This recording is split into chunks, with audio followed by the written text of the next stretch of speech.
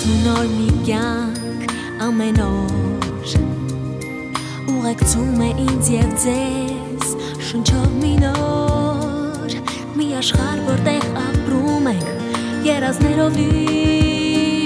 եւ թող ամեն մի երազանք կատարվի Լինում է, չի լինում մի տատիկ ու պապիկ։ Նրանք ունենում են Մաշա անունով մի թորնիկ։ Մաշան մի օր իր ընկերուհիների հետ գնում է անտառ սունկ ու հատապտուղ հավաքելու։ Եվ նա չի նկատում, թե ինչպես է հեռանում իր ընկերուհիներից։ Կանչում է, բղավում, բայց ոչ ոք չի լսում։ Եվ նա այնքան է ման գալիս, մինչև մոլորվում է։ Գնում հասնում է անտառի խորքը, մութ թավուտը։ Այնտեղ գտնում է մի փոքրիկ խրճիթ։ Թակում է դուռը, սակայն ոչ ոք չի պատասխանում։ Ներս է մտնում խրճիթ եւ նստում պատուհանի մոտ եւ սպասում տանտերերին։ Տեսնես ով է ապրում այստեղ, ինչու տանը ոչ ոք չկա, մտածում է նա։ Դու մի ասա, այդ խրճիթում մի մեծ արջ է ապրելիս լինում։ Երեկոյան նա վերադառնում է, տեսնում Մաշային եւ ուրախանում։ Ահա, ասում է արջը, «Էլ չեմ թողնի քեզ այստեղից գնաս» կմնաս, կապրես ինձ հետ, վառարանը կվառես եւ շիլակեփես ինձ համար։ Մաշան ապրում է արջի հետ խրճիթում, վառարանն է վառում, շիլա եփում, տան գործեր է անում եւ արջը շատ գոհ է լինում Մաշայից։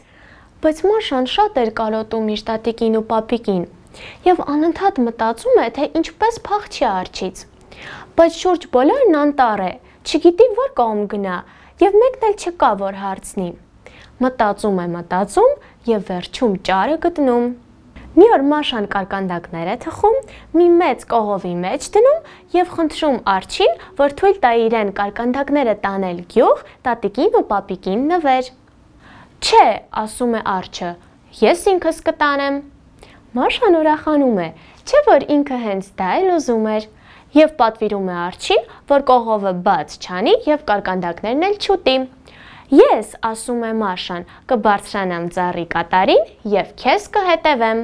Հենց որ արջը պատշկամբ է դուրս գալիս, Մաշան մտնում է կողովի մեջ, կարկանդակներով սկուտեղը դնում գլխին։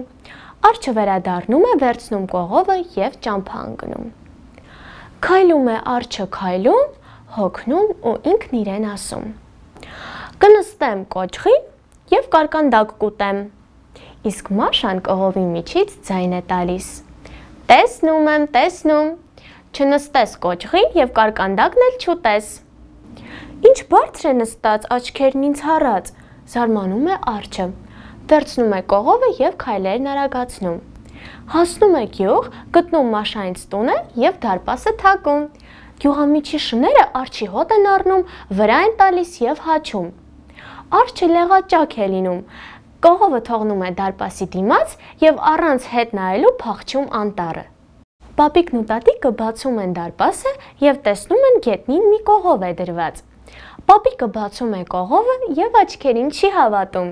Կողովի մեջ մաշաներ նստած, ողջ եւ առողջ։ Ուրախանում են տատիկն ու պապիկը, գրկում թորնիկին, համբուրում եւ խելքը գովում։ Մի աշխարհ ու նոր մի երկ թող հնչի Աշխարհի մանուկներին թող հեքիաթը իմ կանչի Մի արև երկիկ կապույտ ու թեցիացան Նկարված իմ հեքիաթում մեզ ընկերացան